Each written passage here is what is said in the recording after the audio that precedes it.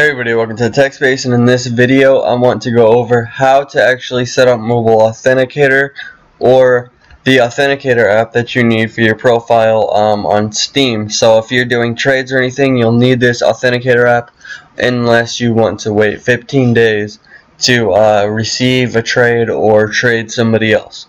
So your Steam authenticator, what we're going to want to do is go to Steam in the top left, click settings and manage Steam Guard account security. So once you do that, you click on that, it'll take you straight through all of the steps that you need. And you could set it up for your phone, email, or I think that's it, yeah, your phone or your email and you'll have a code when you log in. And it also keeps your um, obviously keeps your profile a lot more safe than normal um, if you wouldn't have had Steam Guard activated. So that's basically it. Thank you guys for watching. If you have any questions, leave them below.